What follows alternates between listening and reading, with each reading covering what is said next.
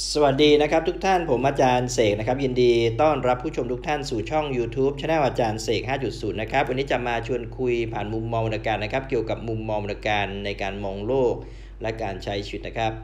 ถ้าเรามองนะครับจากภายนอกโลกมองเข้ามาเห็นกลุ่มเมฆนะหมุนเกลียวเช่นนี้ มีความหนาแน่นเช่นนี้นะเต็มโลกไปหมด เราต้องบอกว่ามันเป็นความน่าสะพรึงกลัวนะครับว่าโลกกำลังเกิดอะไรขึ้น รูปนี้ผมได้มาจากภาพยนตร์เรื่องโนอาห์นะครับนะที่จะมีภัยพิบัติน้ำท่วมโลกนะอันนี้เรื่องเล่าขานกันมานะครับว่าสมัยที่กำเนิดโลกเนี่ยนะครับก็มีมนุษย์เกิดขึ้น มาตั้งแต่ยุคสมัยอาดัมกับอีฟแล้วก็มีลูกหลานต่อมาโนอาห์นี่ก็เป็นลูกหลานนะที่สืบทอดมาจากอาดัมกับอีฟนะครับอันนี้เป็นเรื่องเล่าซึ่งเราจะเอาเกร็ดข้อคิด นะมามองโลกในปัจจุบันนี้นะครับ ว่าโลกเคยถูกทำลายล้างด้วยน้ำเนี่ยอย่างไรนะครับ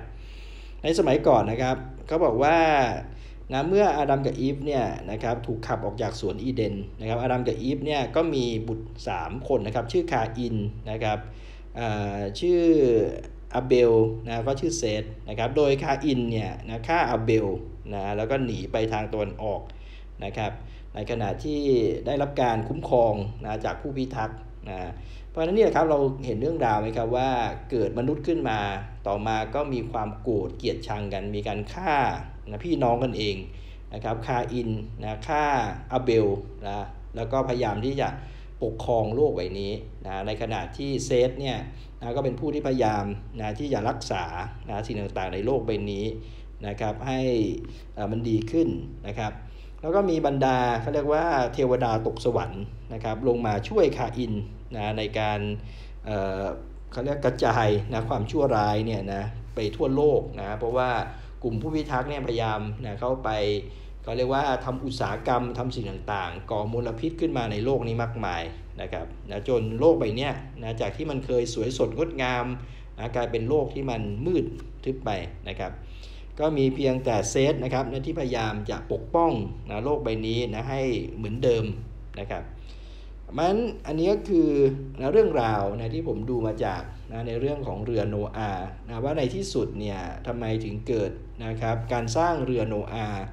นะครับแล้วสุดท้ายก็เกิดน้ำท่วมโลกนะเป็นเพราะว่าโนอาห์เนี่ยเกิดนิมิตนะหรือภาพขึ้นมาว่าจะเกิดน้ำท่วมใหญ่ในโลกนะครับนะแล้วก็จะล้าง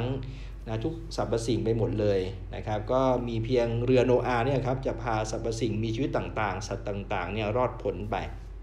โนอาจึงเริ่มสร้างนะเรือลำนี้นะครับ มันเรื่องราวนี้นะน่าสนใจตรงที่ว่าทำไมภัยธรรมชาติน้ำท่วมโลก จึงทำลายล้างมนุษย์ หรือความชั่วร้ายไปทั้งหมด ก็เพราะมาจากเรื่องของความเสื่อมศีลธรรมนั่นเองนะซึ่งเรื่องนี้เป็นคตินะครับนะผมดูแล้วน่าสนใจ นะใครที่ยังไม่รับชมเนี่ยลองไปรับชมดู จะได้คตินะข้อสอนข้อเตือนใจให้เห็นนะครับ ว่าเรื่องนี้เป็นเรื่องเกี่ยวกับศาสนาคริสต์นะครับ แต่ก็มีหลายประเด็นนะครับที่มีลักษณะนะคล้ายคลึงนะที่มีพูดไว้ในพระไตรปิฎกนะซึ่งเดี๋ยวผมจะมาค่อยๆเล่าให้ฟังนะครับ เพราะฉะนั้นมนุษย์ที่ชั่วร้ายนะมากขึ้นนะพี่ฆ่าน้องนะเสร็จแล้วก็พยายามนะปกครองโลก ด้วยความชั่วร้ายนะด้วยกิเลสตัณหานะด้วยการเผาผลาญทรัพยากรทั้งหลายจนสุดท้ายเนี่ยนะพระเจ้านะหรือว่าในศาสนาคริสต์ก็เชื่อว่าสิ่งสูงสุดเนี่ยก็บันดาลให้เกิดนะครับโอ้โหพายุลูกใหญ่นะเห็นเต็มโลกนะครับเป็นสีขาวเนี่ยคือพายุม้วนตัวเป็นเกลียว แล้วสุดท้ายก็ทำให้เกิดน้ำท่วมใหญ่นะแล้วก็เกิดนิมิตให้โนอาเห็นนะครับว่าจะเกิดน้ำท่วมใหญ่ให้สร้างเรือขึ้นมาพาสัตว์ต่างๆ ให้รอดพ้นไป แล้วสุดท้ายน้ำท่วมก็เกิดขึ้นจริง ๆนะครับ สิ่งเหล่านี้เป็นข้อคิดเตือนใจให้มนุษย์ระมัดระวังนะครับ อย่าท้าทายกับธรรมชาตินะครับ เพราะมนุษย์มีความอาหังการมะมังการนะมีความคิดว่าตัวเองเนี่ยสามารถที่จะควบคุมนะปกครองทุกสิ่งทุกอย่าง แต่ลืมนึกไปนะครับว่าตนเองก็เป็นส่วนหนึ่งของธรรมชาติ ตัวเองก็ตกอยู่ภายใต้กฎอนิจจังทุกขังอนัตตา ตัวเองก็ตกอยู่ภายใต้กฎแห่งกรรมนะครับทำดีได้ดีทำชั่วได้ชั่ว นะตัวเองก็หนีไม่พ้นนะความเกิดแก่เจ็บตายนะว่าะในที่สุดแล้วในเรื่องนี้ก็จะเห็นว่าธรรมชาติชนะนะพระเจ้าเนี่ยชนะนะทำให้เกิดน้ำท่วม ผู้คนก็ล้มตายไปหมดแล้วนะครับ ก็เหลือรอดอยู่เพียงโนอาและครอบครัวและสัตว์ทั้งหลายนะที่อยู่ในเรือของเขานั่นเองนะคราวนี้ในเนื้อหาก็พูดถึงว่าโนอาก็ได้เล่าเรื่องที่สืบทอดมาจากบรรพุรุษบรรพุรุษเล่ามา ต่อมาต่อมาต่อมาจนมาถึงรุ่นโนอานะเขาก็ได้เล่าให้บรรดาครอบครัวลูกหลานเขาฟัง ว่าก่อนนะที่จะกำเนิดนะโลกเนี่ยหรือจักรวาลเขาบอกว่าทุกอย่างมันมืดมิดไปหมดนะครับมันในทุกอย่างที่มืดมิดไปหมดเนี่ยนะอยู่ๆก็เกิดบังเกิดแสงขึ้นมานะพอมันเกิดแสงขึ้นมานะก็มีวิวัฒนาการต่างๆเกิดขึ้นนะครับเขาก็เลยเล่าเรื่องราวว่าพระเจ้าเนี่ยนะสร้างนะโลกนะสร้างจักรวาลมา นะเราก็ฟังนะครับเราก็มองนะตามสิ่งที่นะในภาพยนตร์นะเล่าไป เราก็ฟังนะครับว่าเริ่มแรกเนี่ยนะมันมามาจากความมืดมิดก่อน พอมีแสงนะสว่างเกิดการระเบิดออก มีวิวัฒนาการนะครับของกลุ่มแก๊ส ของดวงดาวของแสงนะของวิวัฒนาการมาเรื่อยๆนะครับเริ่มกำเนิดชีวิตและสรรพสิ่งขึ้นนะเริ่มมาจากในน้ำ นะก็เริ่มเกิดนะเป็นสัตว์ที่อยู่ในน้ำก็ขึ้นมาเป็นสัตว์เลื้อยคานนะครับนะก็ขึ้นมาเริ่มเป็นสัตว์ต่างๆนะก็มีทั้งสัตว์เดรัจฉานนะมีนกมีอะไรต่างๆนะมันเรื่องราวแบบนี้นะครับเล่ามานะเราเราต้องเราต้องนึกภาพก่อนนะครับนะสำหรับชาวคริสเนี่ยเรื่องนี้ก็เป็นเรื่องที่เขาเรียกว่าเล่าสืบต่อๆกันมานะจากรุ่นสู่รุ่น นะถ้าเราจะนึกภาพแบบว่าสมมติว่ากำเนิดอาดัมกับอีฟนะครับหญิงชายคู่แรกเนี่ยก็เล่าสู่มาถึงลูกหลาน ลูกหลานก็สืบต่อลูกหลาน ลูกหลานก็สืบต่อลูกหลาน ก็เรียกว่าเป็นเรื่องเล่ามานะซึ่งอาจจะเป็นจริง หรืออาจจะไม่จริงมีจริงบางส่วนไม่จริงบางส่วนก็แล้วแต่ แต่ว่าที่มาชวนคุยกันเพื่อให้ได้ข้อคิดคติ ว่าสุดท้ายนะถ้ามนุษย์นะมีความอาหังการมะมังการเอากิเลสตัณหานะครับปกครองนะโลก นะเหมือนกับที่พี่ฆ่าน้องนะครับ ก็คือฆ่าอินนะซึ่งเป็นพี่ก็ฆ่าอาเบลนะซึ่งเป็นน้องนะแล้วก็ใช้ความชั่วร้ายในการปกครองโลกสืบอำนาจตัวเองลงมานะเป็นผู้ที่ตั้งตนเป็นใหญ่ในโลกอะเป็นราชาอะไรประมาณนี้นะครับนะส่วนเซธเนี่ยซึ่งเป็นน้องสุดท้องใช่ไหม ก็มีสืบเชื้อสายลูกหลานมา แต่เป็นผู้ที่พยายามอนุรักษ์โลกนะป้องกันดินแดนของพระเจ้าอะไรเงี้ยนะครับ ธรรมชาตินะเรื่องราวแบบนี้นะผมมองว่าเป็นข้อคิดที่ดีนะเตือนสติได้ดีนะครับว่าถ้ามนุษย์เนี่ยใช้กิเลสตัณหานำหน้านะครับใช้อวิชชาความไม่รู้เนี่ยมากขึ้นมากขึ้น สุดท้ายก็ทำโลกนี้ให้พังเสียหายนะเหมือนกับเรื่องราวในโนอาห์นี่นะครับซึ่งสุดท้ายแล้วธรรมชาติเอาคืน ก็จะเกิดนะครับพายุลูกใหญ่เกิดน้ำท่วมโลกนะพังเสียหายไปหมดเลยนะครับเป็นเพราะว่ามนุษย์มีความอาหังการมะมังการนั่นเองนะนี่คือข้อคิดนะครับจากเรื่องนี้ แต่เรื่องที่ผมมองว่ามีความบางอย่างนะครับบางประการมีความคล้ายคลึงนะที่บันทึกไว้ในพระไตรปิฎกนะครับ ซึ่งผมได้เคยอ่านมานะถึงเรื่องของปฐมกาลนะถึงเรื่องการกำเนิดของโลกแล้วกันนะอย่าเรียกว่าปฐมกาลเลยฮะเรียกว่า การกำเนิดของโลกนะครับว่าโลกใบนี้เนี่ยเกิดมานะเริ่มแรกเนี่ยนะมีเคยอ่านพบในพระไตรปิฎกนะครับ ว่าเริ่มแรกเนี่ยยังไม่มีมนุษย์นะครับ โลกนี้เนี่ยนะครับก็คือจะมีเขาเรียกว่าอะไรนะพวกจิตนะที่มีแสงนะเขาเรียกว่าอภัสราพรมนะอภัสราพรมเนี่ยถ้าเราดูในหนังเรื่องโนอาเนี่ยเขาบอกว่าเริ่มแรกเนี่ยนะก่อนที่จะมีแองเจิลพวกเนี้ยนะเขาก็ไม่มีตัวตนนะเขามีเป็นแสงนะ ก็จะคล้ายๆกับในพระไตรปิฎกที่ผมเคยอ่านเจอนะว่ามีอภัสราพรมซึ่งไม่มีรูปร่างเหมือนกันนะครับนะแต่มีแสงสว่าง แล้วแสงสว่างเนี่ยนะครับเมื่อได้กลิ่นหอมนะจากดินนะซึ่งในพระไตรปิฎกเรียกว่าง้วนดินนะมีกลิ่นหอมจากดินเนี่ยนะพวกที่มีแสงสว่างเนี่ยก็ลงมาที่พื้นโลกแล้วก็มากินดิน กินดินเนี่ยยิ่งกินยิ่งกินทำให้ ที่เป็นแสงสว่างเนี่ยนะครับกลายเป็นผิวที่หยาบขึ้นหยาบขึ้นนะกลายเป็นกายเนื้ออย่างทุกวันเนี่ยนะประกอบด้วยธาตุดินเนี่ยมาเนื่องจากว่าการกินดินเข้าไปนั่นเองนะกินดินนะเริ่มแรกไม่มีร่างกายมีเป็นแสงสว่างนะฮะแล้วก็ลงมากินดินนะกินจนมีร่างกายหยาบ ก็กลายเป็นหญิงเป็นชายเนี่ยจะคล้ายๆ กับเรื่องของอาดัมกับอีฟนะครับมีเป็นหญิงเป็นชายต่อมาก็เริ่มตั้งบ้านเรือนนะจับกันเป็นคู่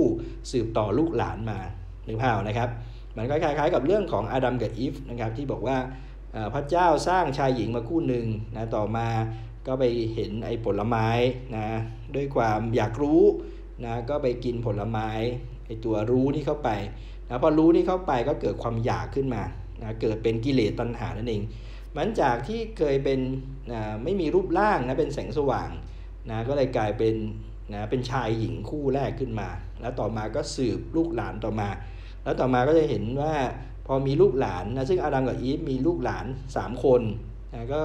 ชื่อว่าคาอินนะชื่อว่าอาเบลนะแล้วก็ชื่อว่าเซตนะครับก็ปรากฏว่าสุดท้ายเนี่ยพี่ก็ฆ่าน้องเห็นไหมมันมีความโลภกดหลงมีกิเลสตัณหาเนี่ยเข้ามาเกี่ยวข้องนะเมื่อมันเกิดอย่างนี้ขึ้นนะครับ โลกก็เสื่อมไปเรื่อยๆ เพราะอะไรครับเพราะว่ามันมีการฆ่ากัน มีการทำผิดศีลผิดบาปต่อกันนะแล้วสุดท้ายนะก็เผาผลาญทรัพยากรนะต่างๆนะโดยการเอาไปใช้นะกินอะไรก็แล้วแต่นะที่มากเกินไปด้วยความโลภนะก็นำซึ่งภัยนะพิบัติใหญ่ ก็เกิดเป็นน้ำท่วมโลกนะครับที่เป็นเรื่องราวนะในเรื่องของโนอาห์นะก็ถึงเล่าให้ฟังว่าสะท้อนกลับมานะในพุทธศาสนานะผมก็ได้อ่านในพระไตรปิฎกก็มีเรื่องราวที่ คล้ายคลึงนะครับนะว่าก่อนที่จะมีมนุษย์เนี่ยสมัยก่อนนะโลกยังร้อนอยู่นะก็มีง้วนดินนะครับกลิ่นหอมขึ้นไปนะก็มีจิตนะที่ไม่มีร่างกายนะเรียกว่าอภัสราพรมมีแสงสว่าง แล้วจิตนี้นะครับนะเมื่อได้กลิ่นหอมเนี่ยก็เกิดความเขาเรียกว่าอยากอะนะเกิดความอยากหรือเกิดความรู้ขึ้นมานะเขาก็ลงมาที่โลกแล้วก็มากินง้วนดินนะด้วยความหอม พอกินง้วนดินก็เกิดเป็นร่างกายตัวตนขึ้น แล้วต่อมาก็ตั้งลกลากบ้านเรือนนะยิ่งอยู่ไปอยู่มาความโลภกดหลงนะก็จะเห็นมนุษย์ก็เข็นฆ่ากันนะก็ทำสงครามกันมันมีตั้งแต่สมัยโบราณนะย้อนไปนู่นฮะเท่าที่เรามีประวัติศาสตร์ ย้อนกลับไปสมัย 5,000 กว่าปีก่อนนะยุคเมโสโปเตเมีย มายุคอียิปต์ก็ลบลาฆ่าฟันกัน มนุษย์ก็ฆ่ามนุษย์ตัวกัน เพราะความผิดบาปก็เกิดมากขึ้นมากขึ้นมากขึ้นน นะครับอันนี้คือสิ่งที่เล่าให้ฟังนะเพื่อให้ได้ข้อคิดนะเพอเกิดความผิดบาปมากขึ้นมากขึ้นนะมนุษย์ก็เกิดความโลภโกรธหลง ยิ่งนานวันยิ่งนานวัน ยิ่งนานวันสังเกตไหมเขาเรียกว่าจากจุดเริ่มแรกนะครับที่ไม่ได้มีอะไรที่มันเลวร้าย จนมาถึงนานเข้านานเข้าเนี่ยเขาเรียกว่ากิเลสดองสันดานนะที่เพิ่มพูนมากขึ้นมากขึ้น ความเลวร้ายนะที่สะสมมากขึ้น จากกิเลสตัณหานะความโลภความโกรธความหลงนะการเข็นฆ่าทำลายทำร้ายกันแย่งชิงนะสิ่งของต่างๆกันนะครับนะก็กลายเป็นโลกที่มันเขาเรียกมืดไปเรื่อยๆนะกลายเป็นโลกที่มันไม่ได้เหมือนสมัยก่อนนะเพราะนั้นถ้าเรามองเรื่องราวนะครับในในเรื่องของโนอานะในเรื่องของสวนอีเดนนะที่เขาเล่ามาเนี่ย อันนี้เราก็ไม่ทราบหรอกครับว่าจริงเท็จประการใดก็เหมือนกับที่เราศึกษาในพระไตรปิฎกนะก็เป็นเรื่องเล่ามาว่าสมัยก่อนนะเป็นอภัสราพรมมีแสงสว่างนะต่อมาเนี่ยอภัสราพรมนี้ก็ลงมานะพื้นดินเพราะว่าได้กลิ่นหอมของดินนะก็กินง้วนดินกินแมากๆก็กลายเป็นกายหยาบเป็นมนุษย์ขึ้นมานะครับวันนี้ก็มีสิ่งนี้ก็บัญญัติมีกล่าวไว้ในพระไตรปิฎกแน่นอนซึ่งเราก็ไม่สามารถพิสูจน์ได้นะครับ ว่าจะจริงเท็จประการใดนะก็เหมือนกับเรื่องของโนอานะเรื่องของอาดัมกับอีฟนะที่เขาเล่ากันมานะแต่ว่าที่ผมมาชวนคุยเพราะว่าเน้นที่คติข้อคิดมากกว่านะว่าทั้งสองนะครับเรื่องราวเนี่ยมีความคล้ายคลึงกันอย่างหนึ่งก็คือมันเกิดมาจากความที่เรียกว่าเกิดความอยากได้อยากมีอยากเป็น หรือความไม่อยากได้ไม่อยากมีไม่อยากเป็น เกิดกิเลสตัณหาขึ้นนั่นเองนะเลยทำให้ นะเรื่องราวเนี่ยมันมีจุดกำเนิดจากตรงนั้น แล้วก็มาเรื่อยๆมาในทุกวันนี้นะครับ มันถ้าเกิดมนุษย์เนี่ยในโลกไม่อยากทำไม่อยากให้โลกถูกทำลายนะไม่อยากให้โลกนี้เกิดภัยพิบัติ เหมือนในสมัยเรื่องเล่าเรือโนอานะครับว่าสุดท้ายแล้วนะธรรมชาติเอาคืนนะพระเจ้าเอาคืนเนี่ยนะก็สร้างภัยพิบัติน้ำท่วมนะก็ทำให้ฆ่านะชีวิต นะมนุษย์อะไรเนี่ยที่เลวร้ายที่ชั่วร้ายไปหมดเลยนะก็เหลือเพียงโนอาครอบครัวนะแล้วก็สัตว์ทั้งหลายนะครับที่จะรอดพ้นนะครับก็ไปตั้งเขาเรียกว่าลกลากใหม่นะในดินแดนที่ไม่ถูกน้ำท่วมนะครับมันเรื่องนี้ให้คติข้อคิดนะที่ดีนะว่ามนุษย์เนี่ยถ้ามีความอาหังการมะมังการมากเกินไปนะ หลงนะมากเกินไปนะสุดท้ายก็สร้างภัยพิบัตินะมาสู่ตัวเอง มาจากกรรมของตนเองนั่นเองนะครับเพราะฉะนั้นผมจึงเล่าเรื่องนี้นะครับนะจากเรื่องเรือโนอาน้ำท่วมโลกครั้งใหญ่ในอดีต มาถึงนิมิตนะภัยพิบัติน้ำท่วมใหญ่ของพระอรหันต์นะครับมาเรื่องนี้นะครับผมก็มองเห็นว่าโลกยุคสมัยนี้นะผู้คนก็เสื่อมไปเรื่อยๆนะเสื่อมจากศีลธรรมไปเรื่อยๆ เราดูตามข่าวสารสิครับนะทุกวันเนี่ยการฆ่ากันนะข่าวอาชญากรรม ข่าวฆาตกรรมนะข่าวการทุศีลนะการเป็นชู้กันนะเป็นกิ๊กกันนะครับการผิดศีลห้าเนี่ยนะเขาเรียกว่าเต็มไปหมดเลยนะผู้มีอำนาจนะก็ใช้อำนาจทุจริตประพฤติม่ชอบนะก็เบียดเบียนนะครับผู้ที่ด้อยกว่านะครับ ชาวบ้านชาวช่องนะครับนะก็ไม่อยู่ในศีลในธรรมนะผิดศีลตั้งแต่เรื่องของการฆ่าเลยนะเดี๋ยวนี้คนใจร้อนใช้ความรุนแรงนะทุบตีทำร้ายกันนะด้วยความโหดร้ายนะครับทุจริตนะต่อกันโกหกนะใส่ร้ายป้ายสีต่อกันนะเดี๋ยวนี้บางทีจับอะไรได้เนี่ยนะครับ ขนาดมีกล้องอะไรยังโกหกกันเฉยเลยนะ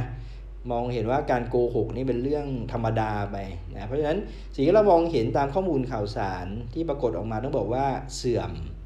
นะอย่างไม่น่าเชื่อนะครับเราไปดูสินห้านะแต่ละข้อว่ามนุษย์สมัยนี้นะมีการสักเท่าไหร่ ดูเหมือนจะขาดลุ่งลิ่งไปหมดแล้วนะครับ ไม่ใช่ด่างพ้อยธรรมดานะครับผมเรียกว่าขาดลุ่งลิ่งเลยทีเดียว มันโลกที่เราอยู่ทุกวันนี้ดูเหมือนมันจะดำมืดลงไปเรื่อยๆนะดำมืดลงไปเรื่อยๆ ก็ไม่ทราบเหมือนกันว่าเหมือนยุคสมัยโนอาหรือเปล่านะที่พี่เริ่มฆ่าน้องนะแล้วก็ไปเผาผลาญทรัพยากรต่างๆนะเบียดเบียนรังแกผู้คนไปทั่วความชั่วร้ายนี่แผ่ไปทั่วนะครับเพราะนั้นถ้ายุคสมัยนี้มันคล้ายๆกับยุคของโนอาแล้ว อันนี้ต้องระมัดระวังแล้วเพราะมันจะไปโยงกับเรื่องของนิมิตภัยพิบัติน้ำท่วมใหญ่ของพระอรหันต์นะอันนี้ผมเล่าให้ฟังนะครับว่า โดยส่วนตัวเนี่ยผมเป็นคนเชื่อพุทธศาสนา 100%นะครับ เพราะฉะนั้นนิมิตของพระอรหันต์นะซึ่งผมเชื่อว่าท่านเป็นพระอรหันต์นะครับ เพราะว่าครูบาอาจารย์ของผมนะได้พูดถึงคุณธรรมนะของพระองค์นี้นะครับนะซึ่งผมก็เงี่ยหูฟังและด้วยส่วนตัวผมเชื่อว่าจะเกิดภัยพิบัติน้ำท่วมใหญ่นะในภาคกลางนะน้ำท่วมสูงตึก 4 ชั้นเนี่ยนะโดยส่วนตัวผมเชื่อ 100%นะครับแต่ไม่ทราบเกิดเมื่อไหร่ แต่ก็คาดการว่าก็คงไม่นานนะนะก็คงจะประมาณไม่ไม่ไม่ช้าไม่นานนะครับ ก็คงอยู่ทันเห็นนะครับ ก็มี FC บางท่านก็บอกว่าแหมอยากให้เกิดเร็วๆจังนะอยากอยู่ทันเห็นนะผมก็บอกว่าเราก็ไม่ได้ว่าอยากไม่อยากนะครับ แต่ถ้าดูตามเหตุตามผลฟังจากครูบาอาจารย์นะครับ ลูกศิษย์ของของพระท่านเนี่ยก็บอกว่าเทวดาเขาก็ จะไม่รักษาละนะว่าผู้คนเนี่ยเสื่อมจากศีลธรรมไปมากมายนะเพราะนั้นถ้ามันเกิดภัยพิบัติขึ้นเทพเทวดาก็ไม่รักษาละนะเพราะฉะนั้นคนดีก็จะรอดนะคนดีก็เหมือนอย่างโนอานะครับนะครอบครัวอย่างเงี้ยนะผู้ที่พยายามรักษาโลกนะอยู่ในศีลในธรรมนะก็จะมองว่าจะรอดก็ได้นะครับ จึงมาเล่าสู่กันฟังนะครับให้เห็นนะครับว่าเรื่องของเรือโนอาให้ข้อคิดคติที่ดีอย่างไรนะมีส่วน คล้ายคลึงนะครับที่ผมเคยอ่านเจอในพระไตรปิฎกนะครับในเรื่องของอการกำเนิดของโลกเนี่ยอย่างไรนะครับมันสำคัญที่สุดก็คือว่าตัวเรานะครับนะจะต้องพัฒนาจิตตัวเองนะครับตั้งตนอยู่ในศีลในธรรมนะมีศีลห้าเนี่ยนะพยายามฝึกฝนให้เป็นประจำนะฝึกฝาฝึกฝนศีลห้าให้ได้นะ โดยเฉพาะชาวพุทธเนี่ยต้องเดินอยู่บนวิถีทางสายกลางอริยมรรคมีองค์ 8 ประการนะครับนะทำทางทั้งทานศีลสมาธิปัญญานะครับ สั่งสมบุญกุศลนะคือละบาปอกุศล แล้วก็สั่งสมบุญกุศลนะครับนะทั้งหมดเนี่ยนะถ้ามันเกิดจะเกิดขึ้นนะนิมิตภัยพิบัติครั้งใหญ่ น้ำท่วมใหญ่ของพระอรหันต์ถ้าจะเป็นจริงเกิดขึ้นเนี่ยถ้าเราทำกรรมดีไว้แล้วนะกรรมดีก็จะช่วยนะให้รอดพ้นนั่นเองนะจึงเล่าสู่กันฟังนะครับให้เป็นคติเตือนใจนะครับ ใครชอบนะครับฝากไลค์ฝากแชร์สนใจก็สามารถสมัครติดตามนะครับในช่อง YouTube c h anel อาจารย์เสกนะครับต้องขอขอบคุณทุกไลค์แชร์กดติดตามนะครับ ฟังพิจารณาให้ได้กติ แล้วเจอกันใหม่คลิปหน้า สวัสดีครับ